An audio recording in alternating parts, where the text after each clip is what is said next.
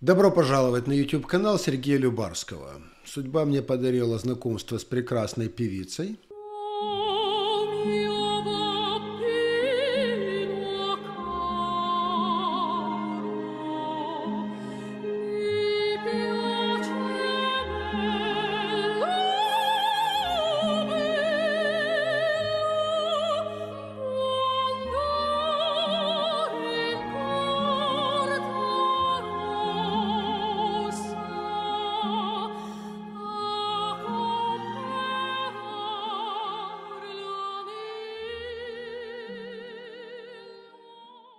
Это была Диана Савронская. Родившись и выросшись в Узбекистане, она училась в Москве. С начала войны она бежала, то есть она политический иммигрант. Она сейчас решила жить в Калифорнии. У нее будет сольный концерт 22 апреля в Нойвале Министри в Сан-Франциско – в сопровождении скрипки фортепиано в программе концерта прозвучат оперные арии и романсы на итальянском, французском, английском и русских языках. Музыканты, которых вы услышите на концерте, играют на самых известных концертах и сценах всего мира, в том числе Сан-Франциско Симфони. Диана споет часть программы, которая исполнялась в Карнеги Холл в Нью-Йорке, и это шедевры восхитительной классической музыки. Все это 22 апреля в 7 часов вечера – Ссылка на ее программу перед вами, а также описание, где купить билет э, в описании на этот ролик. Билеты очень affordable. Я обращаюсь к тем, кто живут здесь, в Сан-Франциско Бэйри. Я знаю, что много подписчиков отсюда. Это прекрасный вечер. Через две недели я планирую там быть. Думаю, там будет много-много э, друзей Дианы Савронской. Приводите своих друзей. Всем спасибо, до встречи. А теперь мы перейдем к более грустной теме. Я надеюсь, что красота спасет мир. Сегодняшний семинар на очень интересную тему, тему, которая существует сколько-сколько существует мир, преступления и наказания. Америка во многом уникальна, в худшем смысле этого слова, э, в этом направлении. В Америке в, в каждый конкретный день больше 2 миллионов, на сегодняшний день 2.2 миллиона заключенных. И учитывая людей, находящихся под следствием, досрочно освобожденных, освобожденных под подписку и так далее, это люди, которые так или иначе причастны к этой системе, около 10 миллионов человек. 2 миллиона заключенных, то есть людей, сидящих за решеткой, это и в per capita, то есть на душу населения, и в абсолютном смысле одно из самых, если не самое большое количество заключенных. Ну, в абсолютном смысле вообще самое большое. А на душу населения, ну, больше, чем заключенных в России, больше, чем заключенных на душу населения в Украине, в Китае, во всех вот этих э, тоталитарных странах мы э, критикуем. И вот как так получилось, и что с этим делать, и какие мы можем сделать выводы, об этом мы сегодня и поговорим. Рассматривая этот вопрос, э, естественно, начнем с преступления, прежде чем мы перейдем к наказанию. Статистика достаточно обширна, легко доступна, но я решил сконцентрироваться на одной ее части, и это преднамеренные убийства. Статистика преступлений делится на ряд категорий. Например, есть такая классификация насильственные преступления или ненасильственные преступления. Ну, насильственно, очевидно, это изнасилование, грабежи, разбой, ну, то есть, когда принимается сила. Ненасильственные, то есть, так называемые имущественные преступления. Вам ограбили квартиру, у вас вытащили кошелек из кармана, у вас разбили машину, вытащили вещи. Это ненасильственные преступления. Все это рапортируется в разных странах по-разному. Существуют разные политические давления и силы, когда в ту или иную сторону это занижается или завышается. Поэтому мировая статистика преступлений, ну, по крайней мере, мною считается недостоверно, сравнивать ее нельзя, а вот убийство скрыть тяжело. То есть человек либо живой, либо мертвый. Тут как бы трудно в ту или в другую сторону отыграть. Многие, допустим, изнасилования в ряде стран, особенно в мусульманских, не рапортуются. То есть изнасилования в мусульманских странах не существует, потому что женщина, которую изнасиловали, там считается сама виноватой. Поэтому вот эту статистику мы оставляем, именно чтобы вот сосредоточиться Ну, я не утверждаю, что это самое главное, самое важное, но наиболее чистых и понятных данных – это убийство, количество убийств. Итак, количество убийств меряется убийством за год на 100 тысяч населения. Такой рейд, то есть такой индекс. По этому индексу Америка далеко не хуже всех. Америка еще недавно, до 2020 года, была 4 убитых на 100 тысяч населения. А сейчас, 2020 года, эта цифра прыгнула до 6, там, 6.1 убитых на душу населения. Для европейских стран эта цифра феноменально высокая. Для сравнения, там Германии, всякие Нидерланды, Испании, Франции, у них эта цифра колеблется в районе 1, 1.2. Для азиатских стран, ну, например, такие как Япония, Гонконг, Южная Корея, эта цифра колеблется в районе 0.3, ну, то есть вообще. Поэтому, безусловно, американский уровень убийств, он не на уровне Канады, в которой там, по-моему, ну, сейчас не помню, не буду врать, вот, не на уровне Европы, это на уровне России и Украины. В Украине это трейд 6.2 по последнему году убитых на 100 тысяч. В России 7,5. 7.5. И тут мы приходим к первому интересному вопросу. Это социальное наследие социалистического прошлого. Ну, то есть в России 7.3 убитых на душу населения, или Украина 6.2, чуть меньше. Это намного больше, чем эстонский или казахский 3.2, ну то есть ровно в два раза больше в Украине, чем в Эстонии или в Казахстане убивают. И в три раза больше, чем молдавский 2.3. То есть мы все вышли из одной песочницы, мы все вышли из Советского Союза. Но, как вы видите, уровень убийств на душу населения очень разный. И с моей точки зрения, насильственные преступления в современном мире, подчеркиваю, не в средневековом, не в 18 веке, а в современном мире, это не сколько социальный феномен, то есть люди убивают, чтобы заработать себе на пропитание. Нет, так вопрос не стоит. Это культурный феномен. Люди убивают, потому что они так выросли. Убивают, естественно, молодежь, людей, которые, ну, то есть большинство убийств, там 90 убийств сделано людьми в возрасте до 25 лет. И это культурный феномен. И именно разница в культурах между Казахстаном, Молдо, Молдавией и, и Украиной, и Россией объясняет столь существенно разный, столь существенно разный уровень убийств. С разрешения своего очень близкого друга я расскажу его историю, которая мне кажется актуальна в данной ситуации. У меня есть очень близкий друг, много лет дружим. Я не хочу называть его настоящего имени, назовем его Джордж. Джордж э, имеет кандидатскую в космической инженерии. У него средних размеров человек на 50 своя инженерная компания, то есть он бизнесмен, инженер, продает, значит, технические исследования, технические решения задач. Очень успешно продает многие годы. Человек не супер богатый, но далеко и не бедный. Живет в Сан-Франциско, хотя родом с Среднего Запада. Я знаком с его семьей прекрасно, с его родителями. Дети вырасти вместе, близкий друг. И вот первая интересная вещь, которую хочу привести ваше внимание. Мой друг Джордж, он, эм, не знаю, как давно, но точно больше 15 лет, сколько я его помню, занимается тем, что в черном гетто Сан-Франциско тренирует детей американскому футболу. У Джорджа двое своих прекрасных детей, кстати, ровесники моих. То есть он детный отец, прекрасный супруг – прекрасная жена. Но, тем не менее, в свое свободное от основной работы время, два-три раза в неделю, плюс выходные, он приезжает в черное гетто и тренирует американских черных детей совершенно бесплатно футболу. Так он платит обществу. Ну, помимо других прочих вещей. То есть это не единственное какое благое деяние он делает, это в том числе. Так устроена Америка.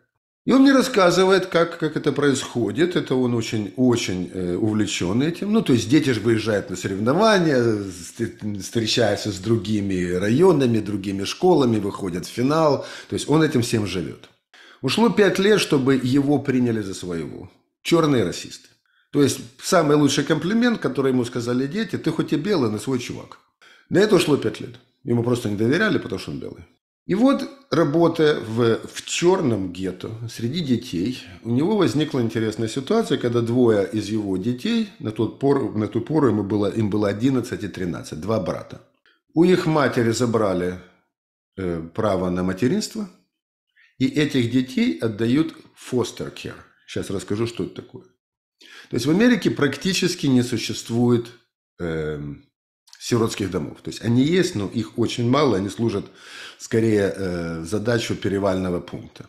Сирот в Америке отдают, но это не усыновление, а foster care. То есть люди получают право по уходу за сиротами, а в данном случае это двое ребят, у которых ну, никогда не было отца. А, ну, в смысле, он биологически был, но в жизни его не было. И у матери забрали родительские права, считаются сиротами. И фостер кер – это, значит, человек, который ну, проверяется, убеждается, что у него хорошая биография, у него есть материальный достаток, условия, берет к себе домой, причем многие из них имеют своих детей, этих детей на досмотр. За это им государство платит. Но не так много, по сути, компенсируя за их еду и постой, но это не заработок. Это другое проявление американской культуры. Вместо того, чтобы их всех свалить в сиротские дома или сиротские приюты – или там детские интернаты, не знаю, как это называется, их раздают по семьям. Безусловно, не все идеально, не все хорошо, существуют разные истории, но в общем и целом этот метод работает. И вот этих двух детей решили разъединить, ну никто не хочет брать двоих одновременно, вдруг ни с того ни с сего выступил этим самым э, э, parent, то есть вот взял этих двух малышей к себе. При том, что у него двое своих чуть старше. Ну, то есть теперь у него еще плюс двое детей, соответственно, возраст 11-13, и тогда ему своим было, значит, 15-16, 15-17 своим детям. Дети были практически безграмотные. Один вообще не мог писать и читать, и считать. Второй мог это делать по слогам. Это дети в 11-13 лет. Дети были психологически травмированы. Они боялись темноты, они боялись людей, то есть были серьезные психологические травмы, которые пришлось лечить психологами, ну, в общем, как-то лечить. Дети выросли в семье матери наркоманки, у которой забрали эти самые права. Там еще было, по-моему, трое или четверо старших братьев и сестер, все из которых разошлись по тюрьмам. Вот такая вот семья. Причем, почему это описываю? Семья типичная. У моего друга ушло больше года, чтобы научить их ну, писать, читать и как-то подчинить их психику. И ушел еще год, и мой друг путем, ну не знаю, он посидел за этот год в прямом смысле, не в переносном, вывел их на уровень своего возраста по академическому развитию. То есть они стали писать, читать, считать и понимать материал на уровне детей вот их возраста. При этом ему пришлось отдать их в э, частную школу. Почему он отдал их в частную школу? Значит, он рассказал прелестную историю, когда один из его детей делал алгебру, и там была задача по раскрытию скобок, и он неправильно их раскрыл. Но в домашнем задании, где он неправильно раскрыл скобки, стояла пятерка. Он очень удивился, пришел к учительнице и сказал, девушка, я все понимаю, но вот у меня кандидатская в космической инженерии, и я точно знаю, что это упражнение неправильно сделано. Почему вы ставите ему пятерку? На что милая девушка ему сказала, он единственный, который сдает домашнее задание. Но не могу же ему поставить двойку за это. После чего, значит, Джордж забрал э, детей из, э, из этой школы и отдал их в частную школу. Частная школа здесь стоит в Сан-Франциско 35 тысяч долларов в год. На каждого. Того 70. И своих денег. Он попросил, значит, э, эм, чтобы школа оплатила часть или полностью, учитывая, что они черные и бедные. Ну, объяснив ситуацию. Школа отказалась. Вот со всеми разглагольствованиями белых либералов о том, что они любят черных, школа отказалась, хотя все социалистические, как коммунистические билеты. Что он может себе это позволить, никуда не денется и будет платить. И были правы. То есть мой друг платил, платил за, за, за этих детей. Ну, не нужно говорить, что этих детей приняли достаточно плохо, то есть это элитная школа, она не белая. Там много азиатов, там много черных, э, ну, какое-то количество черных, но это элита. Это дети из богатых семей, а приходят дети из, двое детей из э, гетто. Пришел коронавирус, школы закрыли, и в это время детям уже было, да, уже они были взрос... ну так, тинейджер, то есть постпьюберти, значит, соответственно, 15 э, и 17 лет. Дети убежали из его дома, эти двое. Дети вернулись в свое гетто. Оба сейчас арестованы после ряда преступлений, и они идут по, по конвейеру вот этой вот тюремной системы. Это был огромный удар для моего друга. То есть он до сих пор не понимает, что было не так и что он не так сделал. То есть человек реально посидел. Он отдал им очень много. Интересные, интересные маленькие нюансы и особенности. Например, когда они пришли к нему в дом, он сказал, твоя задача делать уроки и содержать свою комнату в чистоте. У каждого из них было по комнате. В чистоте в свою комнату они не содержали. И когда мой друг потребовал, чтобы они это делали, ответ был очень интересный. «Я не твой черный раб, убирай сам». Я не шучу, дословно. В голове этих детей, с коими я очень хорошо знаком, была очень очевидно вбитая в них идея, что белые им должны. То есть белые виноваты, белые привезли в Америку их предков, и белые им должны. Почему я вам рассказываю всю эту историю? Потому что американская преступность – это феномен, прежде всего, черных, и потом в меньшей степени феномен, феномен я вечно путаю, по-русски феномен или феномен. А, по-английски феномена. Окей, но это так или иначе, как бы то ни было, это феномен э, черных, а потом лати, латиноамериканцев. И точно не феномен азиатов. Если мы посмотрим на уровень смертности, то есть убийств в Америке, вот тот самый рейд, который у нас был 4 и стал 6, то мы видим ужасающую картину. Среди белых уровень убийств пляшет в районе четырех человек на, на тысячу, на сто тысяч. При этом, хотя эту статистику не публикуют, из этого где-то треть – это черные на белых, то есть белые убиты черными. То есть преступление белых на белых, то есть убийство белых белыми в душу, пересчете на душу населения белых где-то порядка 2.3, 2.4. И это, в общем-то, чуть выше, чем средний европейский уровень. Это примерно то, что мы имеем в Канаде. Убийство черных черными еще в 90-х было 60 человек на душу населения. А сейчас падает, падает и скатилось до 30. Ну, то есть мы говорим о порядках разных. Так же, как и везде, у азиатов практически убийства не существует, там 0.3, 0.4, то есть не о чем говорить. И латиноамериканцы обладают достаточно высоким уровнем убийств своей, вот, но не столь высоким, как у черных. То есть высокий уровень преступности в Америке, хотим мы или это не хотим, это черный феномен. Это не означает, что черные не люди, что черные заведомо не так сделаны, что у них другие какие-то биологические, расовые. Нет. Ничего расового в этом нет. Это культурный феномен. Их так воспитали. То есть достанься моему другу эти дети от рождения. Один из них очень смышленый, второй средней смышленности.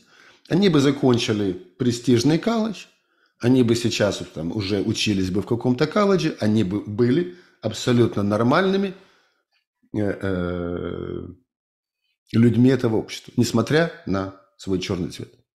Просто им не повезло, что они попали в дом к моему другу не от рождения, а когда они уже сформировались, и сформировались они в черном гетто.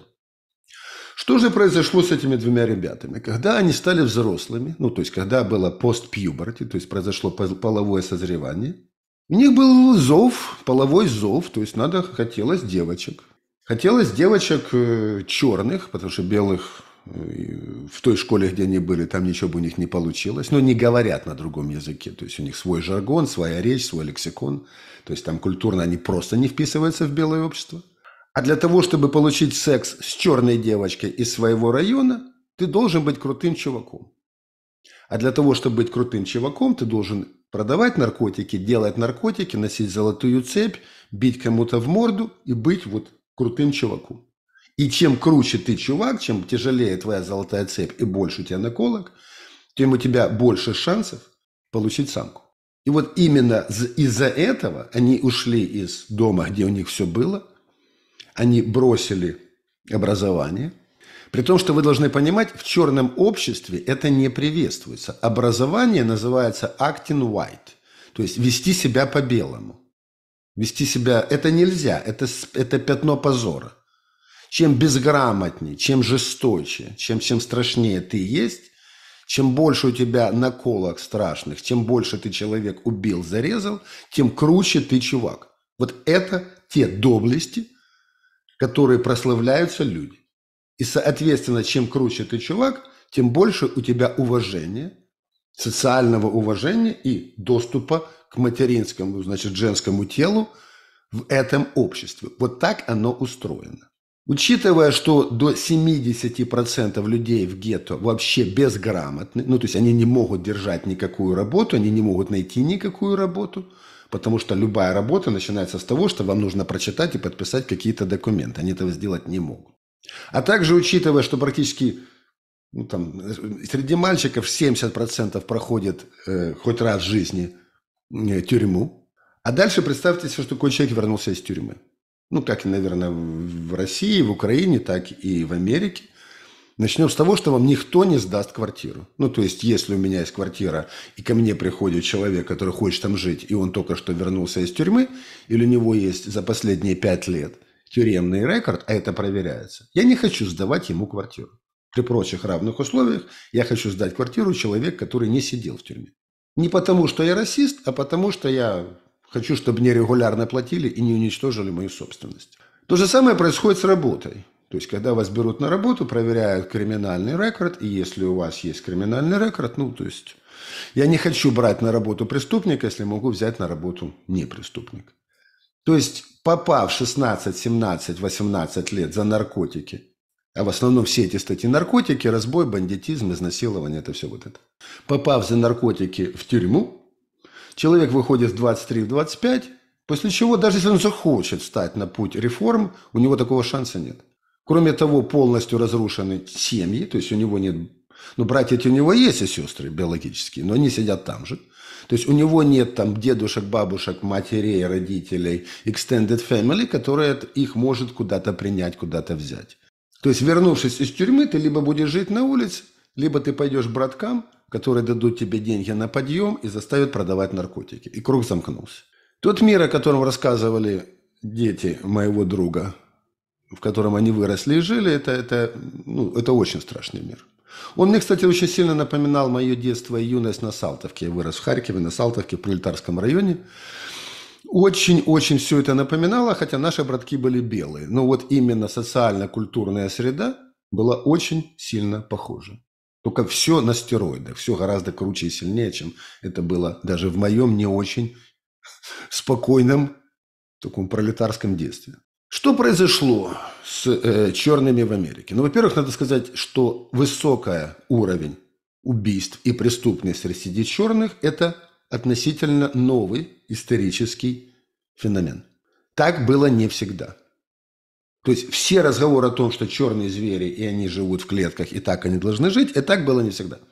Еще в 20-х годах прошлого века, меньше чем 100 лет назад, уровень разводов, уровень преступности, уровень э, других социальных негативных явлений среди черных был меньше, чем среди белых. Черные были всегда традиционно законопослушны, прекрасные семья, семьянины, то есть служители семьи, и религиозны, более религиозны, чем белые. Все это произошло меньше, чем за 100 лет, а в реальности меньше, чем за 70 лет. То есть это три поколения. Это очень свежие изменения. И первое главное изменение, которое повлияло на все это, это все те же реформы Рузвельта, великого Рузвельта, который создал социальные реформы, welfare, когда одинокая мать может получать пособие за своих детей, практически никогда не работая. Пособие нищенское, но на него можно выжить, биологически выжить. Соответственно, эта мать должна заниматься проституцией или ее дети должны заниматься девочки проституцией, а мальчики наркотиками, чтобы не просто выжить, но еще жить как-либо удачно или хорошо с их точки зрения. Вот их поставили в эти условия, и в этих условиях они вели себя так, как они вели себя.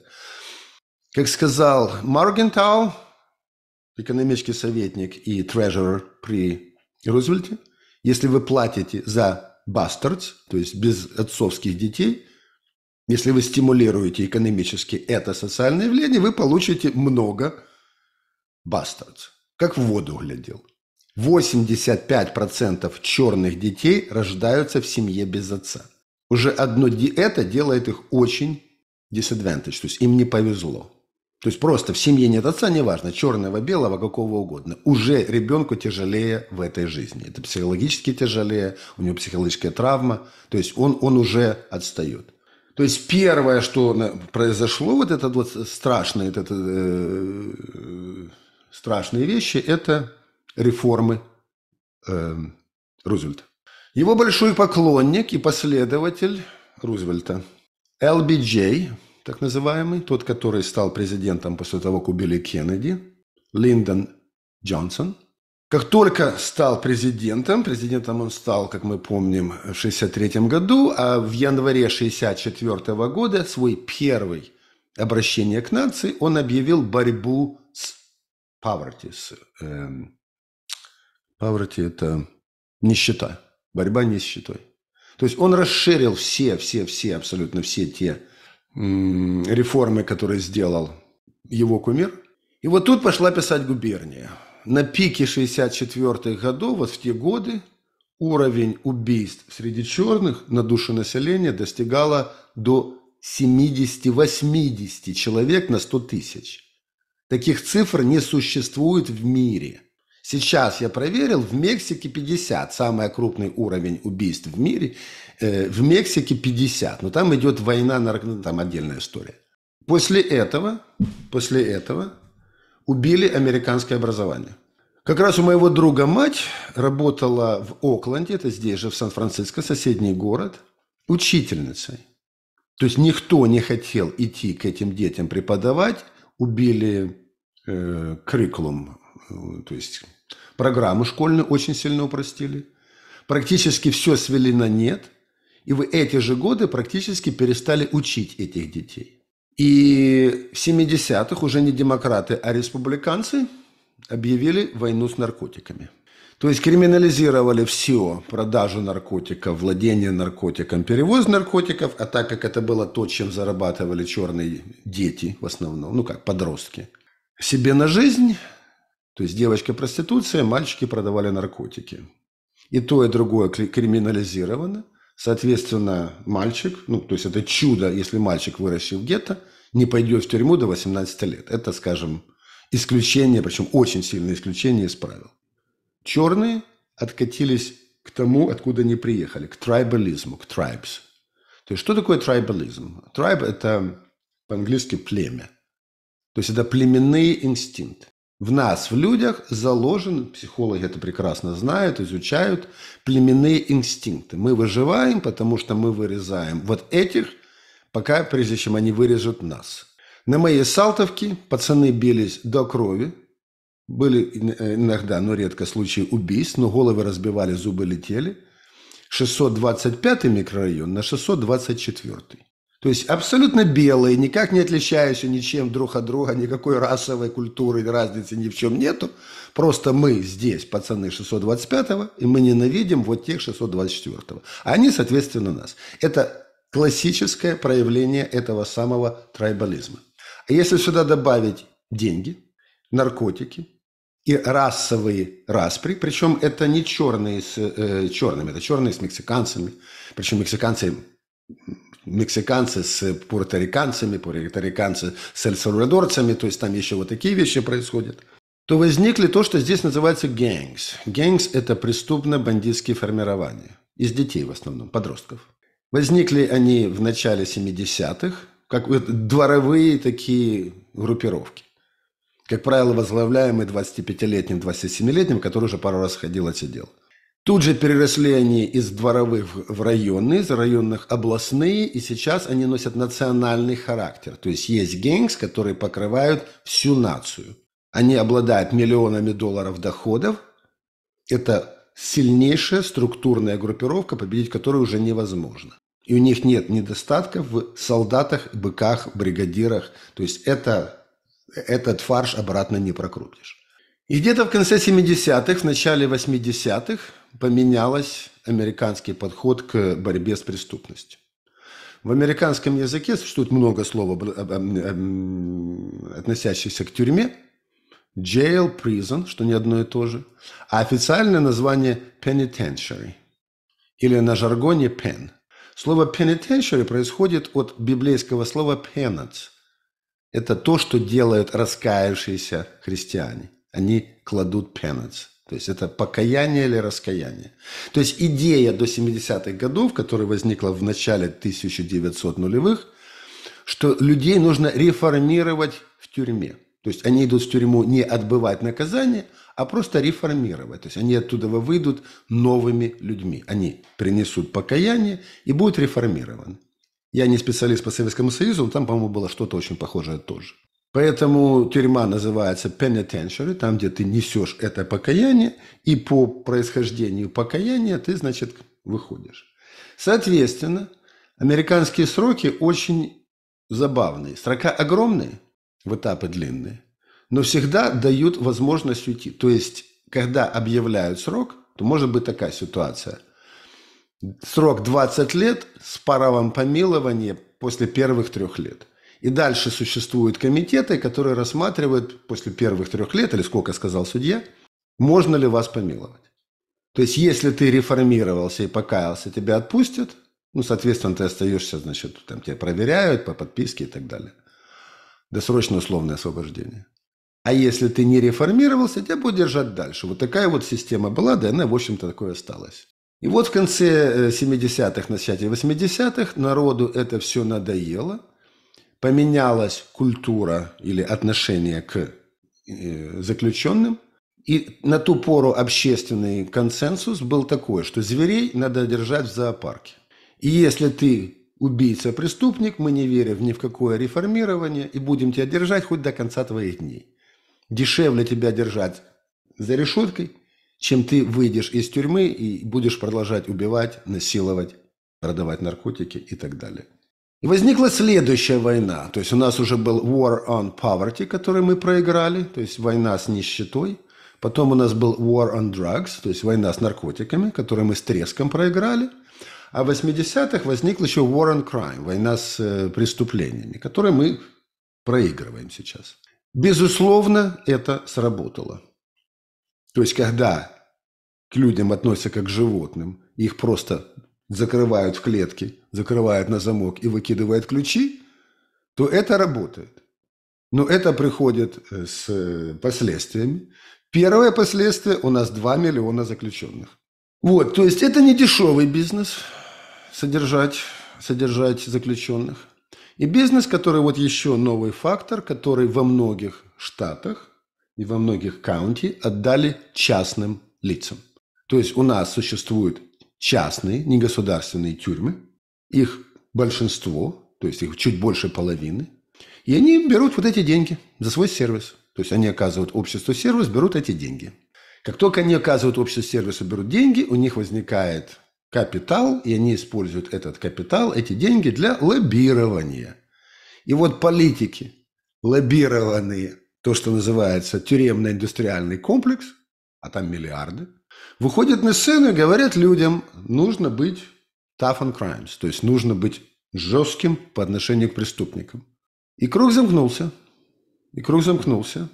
И теперь мы имеем новую волну, в основном раскручиваемую демократами, говорящую о том, что э, надо делать реформы, что нельзя людей держать за решетками и нужно их миловать. Чем и занимается большинство прокуроров во всех демократически активных Сан-Франциско, Нью-Йорк, Чикаго, Сиэтл, Лос-Анджелес городах. То есть, если ты совершил э, ограбление, но украл в магазине, просто вошел в магазин и взял что-то. И если сумма похищенного меньше, чем тысячу долларов, то это не считается преступлением в Сан-Франциско, это считается правонарушением, misdemeanor. Ну, это из той области, как вы проехали на красный свет. То есть это не преступление, это правонарушение. Прикола ради, один э, кореец в Сан-Франциско, который постоянно был подведен грабежу, поставил стикеры на свои товары, там зубная щетка, там, не знаю, бутылка вина, тысячу долларов, но по сейлу сейчас 2,22. Так как закон говорит о номинальной цене, а не э, цене по сейлу, значит, он сказал, все мои товары 1000 долларов. Но это не помогло. Это не помогло. То есть сейчас процветают эти грабежи в магазинах, именно в Сан-Франциско, это болезнь Сан-Франциско. И, соответственно, магазины, как крупнейшие chains, то есть крупнейшие американские, значит, цепи магазинов, так и частные маленькие магазинчики закрываются. То есть Walmart закрылся во всех черных районах Сан-Франциско. Соответственно, демократы обвиняют этих людей в расизме. Они закрываются, потому что они расисты, не потому, что у них постоянно на ежедневной почве бомбят витрины, там их можно не ставить. Потому что если вы сегодня поставите витрину, завтра их ее разобьют. А потому что они расисты. Но в результате получается лишь то, что черные не могут купить себе презервативы, зубные пасты, все, что продаются в этих магазинах, потому что их там нет. Вот это вот движение Black Lives Matter, то есть э, черные жизни имеют значение, убило больше черных жизней, чем что бы это ни было. О чем это я говорю? Пока шло это движение, произошел скачок из четырех э, убийств на душу населения до шести с половиной в 35%. Скачок в один год. Беспрецедентный, никогда не существующий. Это, это культурный феномен, который там скачки там, в проценты. В два раза процента больше или меньше в этом году, в три. А тут 35 процентов скачок в один год, и рост продолжается. Что произошло? А произошло то, что полицейские не хотят связываться. То есть они делают вид, что они охраняют черные кварталы. Потому что их, их же потом засудят. То, что мне рассказывает мой другой друг полицейский, после того, как было несколько показательных судов над полицейскими за то, что они застрелили черных, а потом их судят, происходит следующее. Идет звонок 911 диспетчеру, грабеж, изнасилование или убийство в черном районе. Это черные убивают черных. Что делают полицейские? Белые или черные, неважно. Там и белые, и черные. Они садятся в машину, приезжают по адресу и ездят вокруг квартала с мигалкой. Минут так 10. Потом заходят, находят либо убитое тело, либо изнасилованную женщину, либо ограбленную семью, и весь вечер составляют протокол. Они не хотят подставляться под пули, потому что если ты убьешь, тебя засудят, а если тебя убьют, у твоего ребенка не будет отца. Совершенно логичное, понятное поведение. И как только черные преступники поняли, что это безнаказанно, ну, простите, на халяву и уксус сладкий. По сравнению с 17 2017 годом на душу населения, да и в абсолютном смысле, Black Lives Matter, вот это движение, увеличило количество умерших черных, убитых, черных, убитых черными на 5000 человек в год. С рассуждениями о том, что цена белых черных жизней чего-то стоит, вот эти вот страшные люди, которые никто вам из демократов не расскажет об этой статистике, хотя она абсолютно публично публикуется, ее найти это два клика на интернете. Погибает плюс 5 тысяч в год, это к тем, к тем уже предыдущим. Это плюс, это дельта. Каждый год, начиная с 2020 года. 20, 21, 22 пошел, прошел. То есть идет сейчас борьба за то, чтобы отпустить черных из тюрем и меньше их содержать все прокуроры Америки в развитых вот этих вот демократических штатах дают меньше срока, идет дикая волна преступности, которая в, в большем своей степени сказывается на черных. И практически никто в Америке не знает, что с этим делать дальше. Надеюсь, я рассказал, что здесь происходит с преступностью и что здесь происходит с э, incarceration, то есть с системой тюрем и судов. Соответственно, возникают вопросы. Возникают вопросы. Вопрос первый, который я хотел с вами обсудить. Почему в Украине и России столь высокий для европейской страны уровень убийств? То есть Германия 0,8, Франция 0,9. Я даже не спрашиваю, почему у вас как не в э, Гонконге, но 7,5 в России и 6,2 в Украине – это высоко. Это выше, чем у нас с нашими черными. У нас до того, как началась эта свистопляска, было четыре. Первый вопрос. Второй вопрос, который я бы хотел обсудить.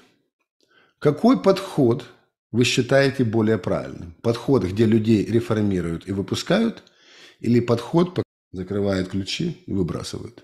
И вопрос третий. А что можно сделать? Ну, то есть, какие выходы? То есть, э, ну, про Америку говорить не будем, вернемся к Украине. Что можно сделать в Украине, чтобы уменьшить уровень преступности? Те, кто смотрит, напишите ваши понимания этих вопросов. Те, кто пришли на семинар, э, мы сейчас это будем обсуждать. Те, кто хочет прийти на семинар в следующий раз, ссылочка на семинар в описании этого видео.